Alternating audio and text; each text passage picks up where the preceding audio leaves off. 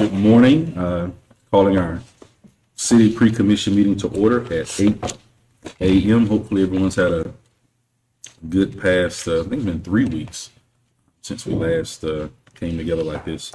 So, uh, looking at the agenda, is there anything on the, well, consent agenda's regular meeting minutes? Uh, Everybody good with the meeting minutes? Had a chance to review those? I was good with those, all right. Moving on to new business. Request for annexation on Cashemar Drive. Any questions about that? The property around it is Lynn Haven, right? Yes. Yeah. That's what I thought. All right. Any other questions? Okay. Uh, and of course, it'll be first reading by title only, so we won't be voting on that. Okay. Uh, we'll just be reading the ordinance. Uh, city manager will read it, and if there's any additional questions at that time, we can ask those, but um, we won't be voting on it, so there probably won't be any public comment on that one. Uh, another first reading, um, and this is basically coordinated with that one.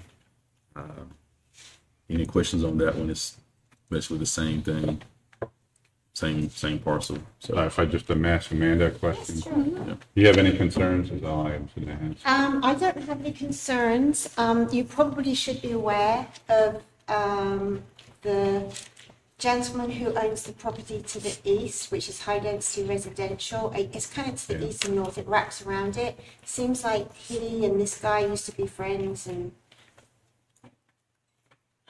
anyway. Um, It is district. yeah, so he came out to the planning commission meeting and he had a few questions because I'm not sure they're friends anymore. Um, and he had a few questions, but, um, the person who's wanting to annex it in has the, um, answers. One of the questions that the guy had was why, you know, if it was public institutional. I must admit, it was something I wondered. Uh, why was it public institutional? Because it seems strange that it would be public institutional. Um, and um, it used to be that parcel used to be part of that bigger parcel that's now Cashel All of that used to be one big parcel. Um, and it was all apparently public institutional because uh, it was there was going to be a grassy pond school located there. But that never happened. Um, and when the other property was annexed in to the city, this portion wasn't, it wasn't all annexed in, so this portion wasn't. So it basically created an enclave. Okay, Yeah. thank you. And why, why are they mixed? Sorry, mixed use, Yeah, uh, Cashel yeah. Um, I think, now this is just me because I was not here when it was annexed in. Um, I can't remember if the land use was changed. But anyway, mixed use, there used to be, I don't know if you recall, but there used to be a uh, restaurant Yep. there, um, House of Seafood. And uh, with that being there prior, I think they weren't really sure, the people that were changing the land use weren't really sure um, about what they, you know, and you shouldn't, to be honest. When you change land use, you should just be asking for, like, you know, the statutes and the, and the states say you look at the surrounding areas, you think about the various uses, the various things you can do under that land use. So I think they felt that mixed use was the one that would give them either single-family housing, multi-family housing, certain types of commercial. I mean, that's just More my guess. flexibility. More flexibility, and also, you know, townhomes, less, uh, smaller side setbacks, that kind of thing. That, but that's just my guess. And then you've got high-density residential there, Yeah. which to me, I, I would have thought, like you guys would probably have said no to that. But who knows? Back in the day, what happened there? Okay. Did you ask our historian, Bobby Baker? Um, Bobby, well, Bobby's been, like, Bobby's aware of it all, aren't you, Bobby? He hasn't had any comments, have you, Bobby? No, I'm just kidding. Mr. Historian. Um, and there are, I will also, I will mention that there are, um, the gentleman said something about some headstones that are there. The owner said that they are memorial headstones. Oh. The, the person, he knows for a fact, one of the people who, whose headstone is there is buried up further north, not even in the city, like up towards Chipley Way, maybe Wausau or somewhere. Um, so, um, you know, you can always ask him when we have the public hearing, because this first, as the mayor said, this is going to be first reading by title only. There isn't going to be a presentation, it's just first reading by title only. On the 23rd, there will be the public hearing. So, So no bodies in the ground. well, as far as we know, he said that he had a so- sonograph thing done to see if there were any bodies, um, and could not, there, and it showed that there weren't. We asked him if he could actually bring that into us, if he had a report on that. Uh, we haven't received it as yet, but we only asked him a couple of days. We thought it might help if there were any questions. Okay, Thanks. You're welcome. thank you. Does anybody else miss that restaurant? I love that restaurant as a kid. That was before my Uh, time. okay. House of Seafood. Great fried shrimp. I personally was like six years old, so I ate a hamburger, but I got you. Thank you, Sam, for sharing that. Making me feel so good. Uh, Number 11, first reading by title only, amending Article Number 6 for the public meetings of Chapter 2 of the City Code of Ordinances. Uh, Anything you'd like to say on this, Amy? I think y'all were expecting this ordinance. It simplifies your process and allows y'all to just adopt a resolution that sets those rules. So it deletes all of the existing rules from your code. I had a few people inquire about this, and this is the way I explained it to them, the way I understand it, understood it is, when we do the second reading, we'll, if we adopt this ordinance, we're gonna be adopting the resolution that same commission meeting. That is the expectation, yes. So I explained that to them, because I think a lot of people see all that stuff being deleted, like, what are you doing? It's like, well, no, there's gonna be a resolution that's gonna adopt all that stuff, so. Yeah, I just want to make sure I understood that correctly. and the resolution will be coming out within the next week or so. Or so Okay. you will be ready to discuss at the next meeting, so. Roger. Um, Number 12, quasi-judicial public hearing. Uh, Approval, possible approval for request for development order for 1609 Iowa Avenue, King Griffin Park in City of Lynn Haven. So of course, this is us approving the parking that we need um, over at King Griffin. Are there any questions about that? Does that require a retention pond, or is that what that is in the bottom left-hand corner? There is Is something in the bottom for it. that that green area? Okay. Yeah. We have to follow our own rules, you know, so. Yeah. Yes, we do. Why not? Um, are there any other questions about that? That's interesting on the retention pond that it looks like it has a little arm going out. Just We thought try that be was creative. interesting. I know one thing. I'm excited for that parking if it passes because Yeah. I was there this past weekend. It was hard to find a parking spot. It is very hard when you have over a thousand kids that are now playing in our league. Um, and we're back to where, really beyond where we were, uh, pre-hurricane. Um, we definitely need this, this parking. And they park across the street on the, you know, on the condo side. Yes, Yeah. And then the kids run across. Yeah. It's, it's kind of scary. Very dangerous. Number 13, uh, discussion for chapter 10, articles 1 and 2 of the city codes.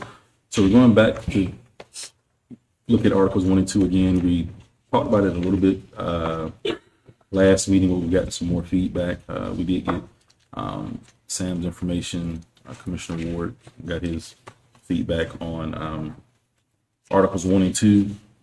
Are there any concerns in regards to the feedback or everybody good with updating it as we receive the feedback?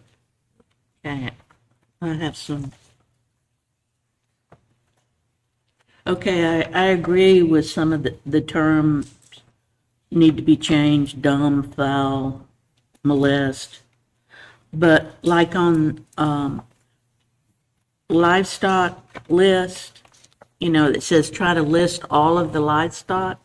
What if there's an exception or, if- I mean, what if something comes from I mean, we don't need to include et cetera in some of those, uh, lists. Todd did have some feedback on that. Um, could you, he, he did come up and discuss that after last commission meeting with, uh, Commissioner Peebles and myself. Oh, On that okay. particular matter.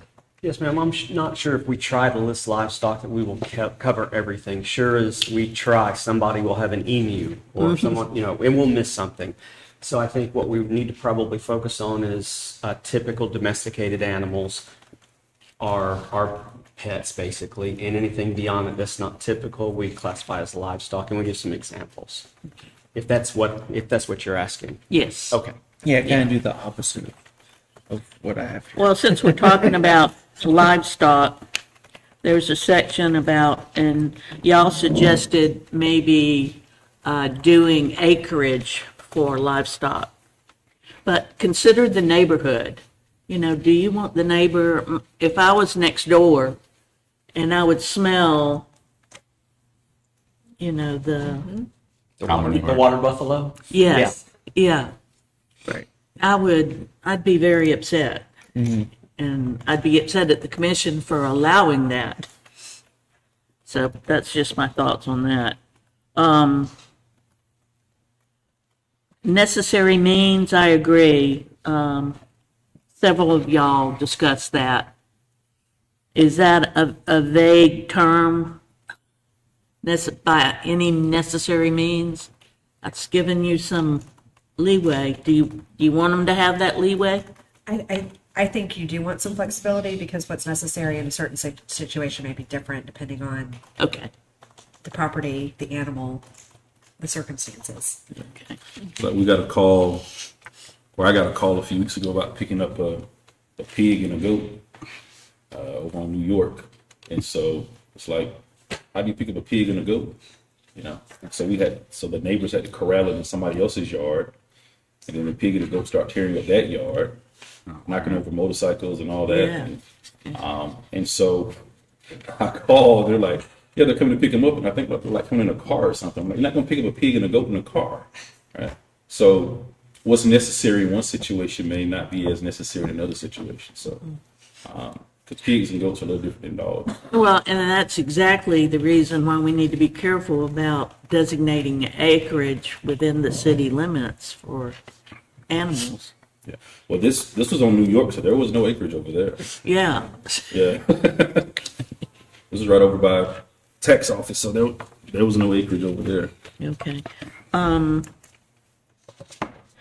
I, I think if an animal has been designated as, uh, Dangerous. dangerous, they, they shouldn't be allowed to sell or give the animal away. That's, that's listed in one of these, uh, That's a good catch. that, um, you know, if they want to get rid of it, they need to bring it to the shelter and let the shelter handle. That way you know that the people that are getting it have the truth. Instead of, you know, you can see somebody saying, oh, well, they were picking on me and it- Yeah. my animal is really not that dangerous. They get it for their kids and, you know. That's a good point. Um, So what you're saying, I guess, for clarity, as we're updating it for the record, is if an animal has been deemed dangerous by the city, then the owners cannot, I guess, give it away to someone within the city. Uh, they would need to bring it to the, to the animal shelter and allow us to. Well, that's what I was thinking. Yeah. I want to check the statutes on that. That's not a bad remedy to only let that be, the- to be the only option for an owner at that point if they want to get rid of the dog, uh, barring moving out of the city themselves. Um, but I do want to check the statutes because there are a lot of statutes that say what, that govern dangerous dogs and what you can do and not do. So, um, I'll just check that. Okay. Make sure we're, we're not overreaching. Like I said, that's just kind of my personal opinion there. And, and we actually have to go through a magistrate hearing to deem a dog as dangerous. Yeah. And since I've been here four years now, we've only had one, and the magistrate ruled that the dog would not be ruled dangerous. Um, so Okay, so, it, there, there is definitely a process to go through. I would say the only exception to that is like if they were gonna give the dog to a certain society, I don't know if there's any around here that accept dangerous dogs or something like I that. don't know. Oh, man.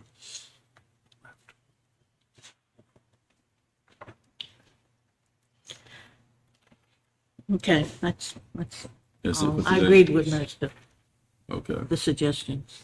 I guess Good without, job. All right. Any, anything, Commissioner Work, any further explanation? yeah, I think Ty answered one of my questions. I asked how many dangerous dogs do we have in Lynn Haven? It sounds like it's pretty rare. It is, and, and once a dog is deemed dangerous as, as outlined in the ordinance, um, it has to be kept on property, it has to be muzzled in public. If it's outside, it has to be in a completely enclosed, including a roof if it's a kennel. Um, so there's some pretty strict standards involved. Okay, thank you. Yes, sir. And then the last thing, when, uh, for section ten thirty, at the end of it, it says owner's request for, is that, is there a reason why it's left off like that? It's just like It's any a blank. request? Yeah, Yeah, it's like it The was. sentence is unfinished? Yes. Okay. And, and that might be by design that way. No. I just, no, okay. Now, you had, a- you had a question about insurance, did that one get answered for you? Yeah, I mean, it's pretty rare, you know. I mean, so the other thing I asked Ty, sorry, I just put, do we actually ensure the owner has obtained and renewed the, their insurance? So once they determine it's dangerous, they're supposed to get, I guess, extra insurance and all And to be that. honest with you, Commissioner, I'm not, I'm not familiar, since we didn't have, have Right. that. So it's Um, pretty rare. Yeah, and the actual, uh, the actual incident in question was a small dog, had nipped two different people. Right. So s- whoever got nipped was pushing the issue. The owner of the dog brought in six or seven witnesses, including daycare, that said, yes, the dog nips, but it's not a vicious dog, and that's, Right. so we, we never even got to that point. I would imagine when that happens, there's paperwork that they gotta sign that says you're required to have insurance. And, so- and I think it falls under a state statute, to be honest with you. If, if it's deemed dangerous dog, I think it's gonna be wherever that dog travels throughout the state will, it, it'll still follow it. Okay, thank you. Yes, sir. It says also on that very same one that you're questioning that you have to uh, post a bond with the clerk of Bay County. Oh, yeah. it does And say I'm that. not, uh, like I said, I haven't, I haven't crossed that bridge yet, but it, it is a very, once the dog is deemed dangerous, it's cheaper just to put the dog down. Thanks. You have any comments on this for discussion, Mr. Brennan? Yeah. Any, All right, um, one more. one more? Do they give, now, uh, No, you're good. okay, do they, um, give rabies shots only every 12 months? There's no shot like for two years or, because this specifically says a rabies shot every 12 months. Yeah, I think, I think, because I just took my dog to the, yeah, I think it's a, a twelve month, Okay. it's like a once a year shot, like you get the, I mean, they're getting so advanced now. I was wondering now some of the, I think some of the boarding, sh- some of the boarding stuff may be increased. It used to be like every six months, that might go for a year, not like the Bordetella, that might be for like a year, for like boarding and taking them to, uh, the groomer and things like that. But for the rabies, because you have to get a new tag every year for the rabies. So I it's- was just wondering because it was so specific, you know, 12 months. I didn't know if there were shots that lasted more than 12 months. They probably do. I I just don't pay for it. I just pay for the the, the twelve month one. Okay. And you get a new tag and so then when you get the dog, you see the tag on the dog and all that stuff. Or cat, whatever. And 10, 1081 was a little confusing to me, but it just could be me. It's dogs in public places. Okay. And also 1083 and 84 were kind of the same. So what was confusing about that? I'm just just asking for clarity so we can um try to clarify it. Well, one sentence says, no dogs in public places. And then the next sentence says, well, but it doesn't say specifically that they're special dogs. You know, that kind of thing. It goes from no dogs to, well, if you bring one, it's got to be on leash and stuff like that. I don't know. I just thought it was, if you're going to allow dogs in public places, They have to be on leashes. they, shouldn't they be like a service dog or something like that? Well, we're, But- most of our parks are pet friendly as long as they're on a leash no longer than six feet. But you're right, these are some of the issues that I think we need to bring clarity to. That, like I said, we're either silent on something or contradictory somewhere else in the ordinance, and that's what we need to clean up. Okay. You said that's eighty one and eighty three? 81 is public places, um, 83 and 84 are basically talking about the same thing, if I understood it correctly. Okay. Okay, that's it. You have any additional thoughts or comments on this, Sam? Uh, no, sir. So we'll um, see if we get any additional feedback from citizens about it. One citizen was very grateful when I did clarify with him about the uh, chickens and ducks and all of that. So I immediately followed up with him to let him know that you know he was good to go. That we didn't have to change anything for him to that he was falling within compliance if he if he had ducks. So he was really grateful and happy about that. Even for Yeah, the some people we- eat the duck eggs. well, his his daughter's allergic to chicken eggs, so she has to. Yeah. That's why he was asking about the ducks because she could eat the, the duck eggs. So, Um, but he was very appreciative that we did take the time to even address or even, you know, bring it for discussion Yeah. about that matter. So he really was thankful to the commission for that and appreciated it. Um, I believe we all received the email regarding, uh, traffic, um, concerns in Mowat Highlands. Yeah. And so you also received a, a follow-up from, um, the city manager on the procedure for that. So I did meet with that committee yesterday. Um, so I did meet with the, I was looking up the official name for it. Since we're on record here, I want to make sure I get it right. Uh, The Traffic Calming Safety Committee. Um, and we talked about the traffic safety policy and procedures. So I did meet with the Traffic Safe Calming Safety Committee on yesterday.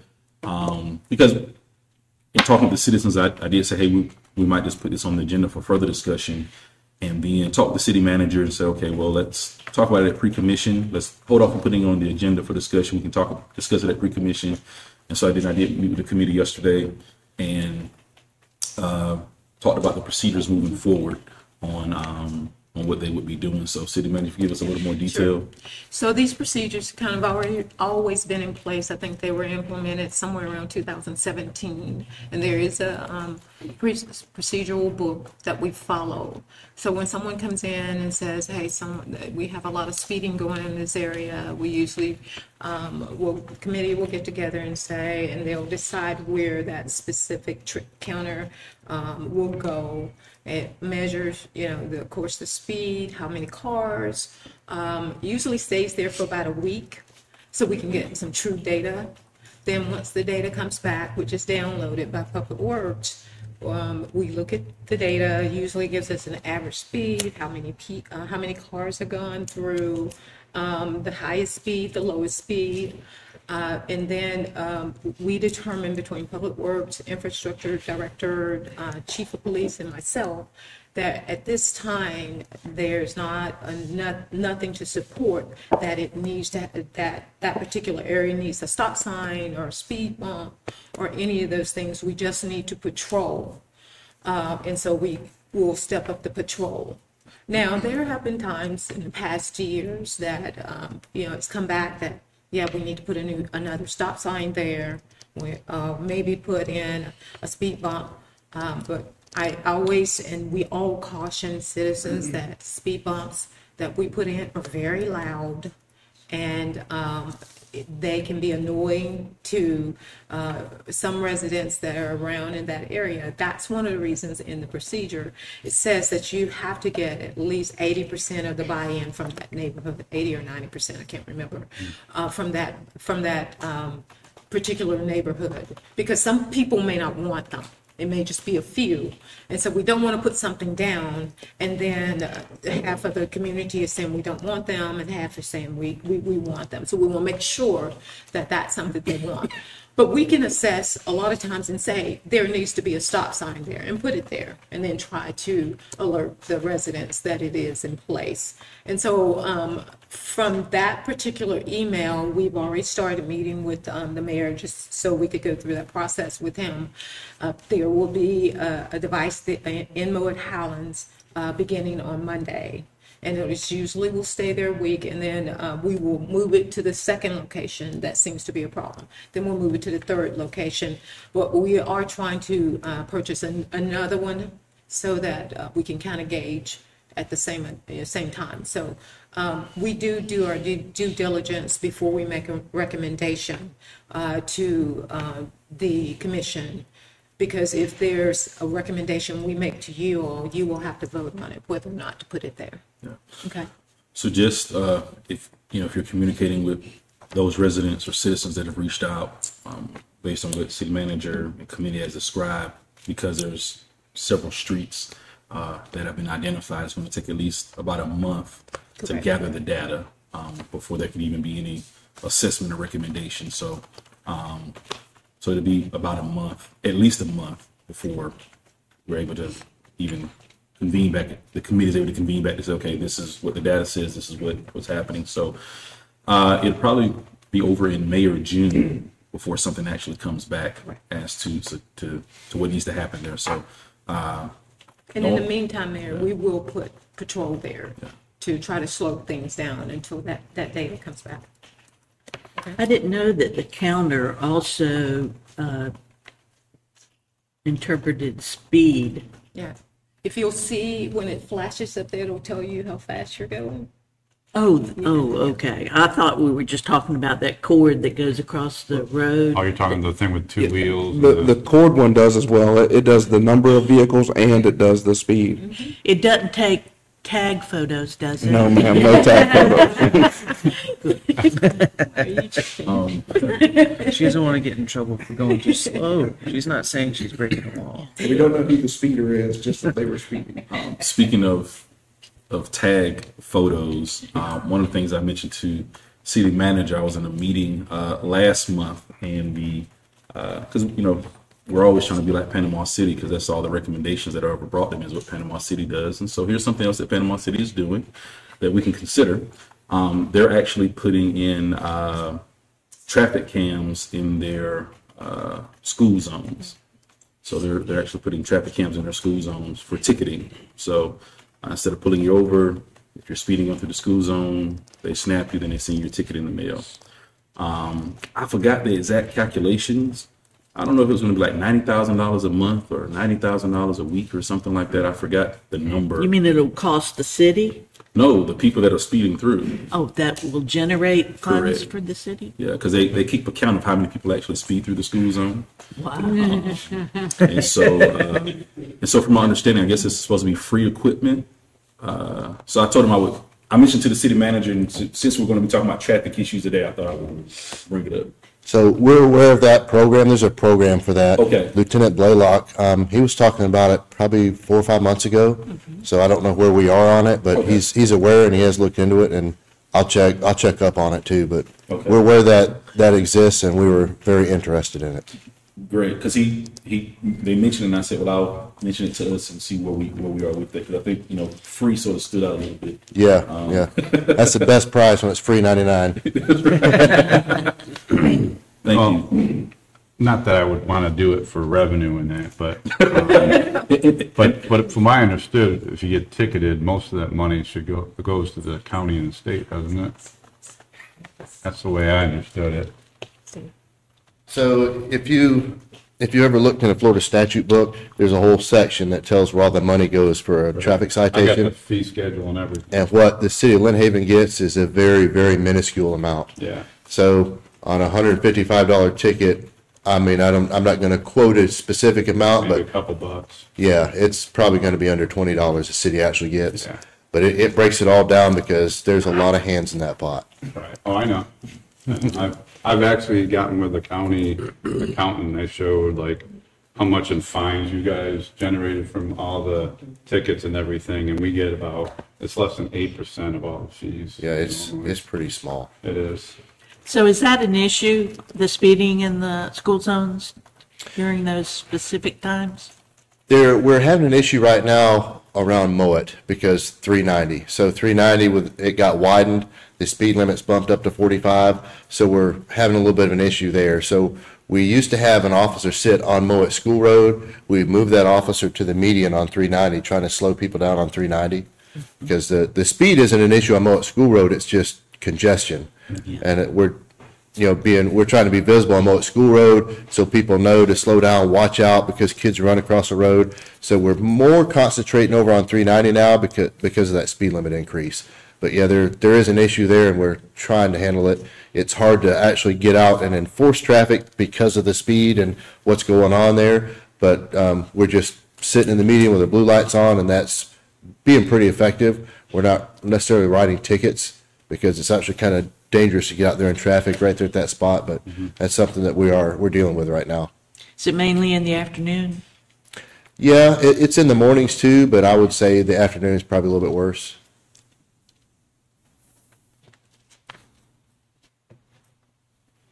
So, uh, let's see, just like the Mowat Highland, Highland residents know, and I'll, I did tell them we'll be discussing in pre-commission and encourage them to listen to the YouTube or, or listen to pre-commission so they could hear, um, directly what we were saying about it. Um, And then also, uh, city manager has another update Yes. for us as well. And just so you know, I did um, send an email this morning to one of the residents telling her that we would start to put those devices there come Monday. So she may spread that word. It's kind of hard to, you almost don't want to tell them because then you can get a true reading, but hopefully it'll give us some information back from it. Yes. And so after uh, yesterday, and in, uh, reference to Chief Rick- Ricky Ramie's case, that has been extended to June 6th. And as you remember, um, Attorney Marcy came in and said, you know, if things change, then of course, we would have to further take action and change our course as well. And so uh, the hearing has been moved, I think, about four times. This last time is June 6th. That's a very long time. And it was my decision to go on and move Mr. Ramie uh, to uh, administrative duties. And his administrative duties will be just what it says, administrative duties. Um, He turned in uh, his firearm, his badge, uh, to Assistant Chief um, Infinger. Um, And surely he has a lot of knowledge and we're, you know, we're getting ready for this uh, accreditation, re-up of this accreditation. So surely we need his uh, expertise and knowledge there um, until such time uh, things change on June 6th. All right. Any questions for the city manager? So was that done based on recommendation from the HR attorney, or you just took it upon yourself to do that? I'd already started that process and I just made sure it was all right with the HR attorney, was in full agreement with that. And, um, and he actually said it here, um, in terms of if something changed within the next three weeks, then we would take action. So, um, that was, that was the reason why as, as well. And that was basically what our motion was when we voted was to allow, basically allow the, the case to try to come up so we can see what happens with the case or moving forward to make a decision. However, when we came to our next commission meeting, if something did not happen with the case, then we would reevaluate to see, you know, how do we move forward from there? So, um, allowed us to give, you know, the process for due diligence, but also, um, moving forward in the best interest of the city and the citizens, so. And guys, I am, we are uh, close watching of this, and our, our fingers surely on the pulse. And so just allow me and staff to do what we know to be right, uh, to keep things in compliance, and um, to make sure we are protecting the city as well as the rights of the individual. Okay. Any additional questions? Anything else uh, needed for discussion before we adjourn? I don't know, did y'all get the email about renaming the city, uh, the streets? I, I did see something, I did see that. I was trying to figure out who that email was from. Couldn't Yeah. figure it out either. Um, I wasn't sure if it was actually from the founder of Lynn Haven or if it was. I, I looked up the email address on Google, I didn't get any results. Got it. It just, I don't know, the whole thing just looks suspicious to me. Um, because there's no contact information, there's no name, none of that, and I don't know, it just looks suspicious to me. But uh, I did see it, and I have had um, not many citizens, maybe two or three, ask similar questions when you know naming the streets or Yeah, how did we come up with the names of the streets? Weren't they like north and south? You know, like Yeah. you you know. So there there, there are always questions about the the state streets. Like Carolina, yeah. not North Carolina, South Carolina, just Carolina. So Covered both of them. Yeah, Because um, Southerners say, oh, the Carolinas. Before we finish with this conversation, I just want to remind you. You're not It may- Southern, are you? It made my No. life easier. I grew up on that street, so I didn't have to remind people if it was north or south. So I was happy that it's just Carolina. so in your mind, there's just one state, Carolina? In my mind, it meant that I didn't have to explain people. That's a great way to say it. City manager? Yes, just to remind you that um, tonight is Spring Concert Series. Anthony Peebles will be there. And then tomorrow is International Food Truck. I think we've had over a thousand people say yes, we will be there, probably more than that. I have some entertainment going on from two to seven. Surely invite you to come out and be a part of the International Food Truck. We're also going to be having a tournament over at the sports um, complex. Um, and uh, so lots of stuff going on tom- tomorrow and tonight. What kind of tournament at the sports complex, Nice. Justin? Softball. What kind of tournament? Uh, we have basketball, youth basketball, and then adult softball. Fields. So there's lots of stuff to do and watch. So when do the food trucks arrive? at- Uh, it is from two to seven, so the food trucks usually will arrive early to set up because we have them strategically placed in areas. We have over twenty-five food trucks, and this is the first year we've done this. We think it'll be great for our residents to come out and enjoy the day. You can have your own lunch and dinner right there. That sounds great. Um, I'll mention this again on Tuesday. Congratulations to our uh, North Bay Haven girls softball. They won the county championship last night. Um, it was a great game. I got a chance to get there at the, the last few innings, so they went into uh, extra innings, and so uh, it was you know they beat crosstown rival Arnold High School. So great game over at Mosley. So um, so congratulations, uh, congratulations to them. Hopefully they get into the postseason and have a have a great run for us um, in Lynn Haven. All right, anything else before we go? If not, meeting adjourned.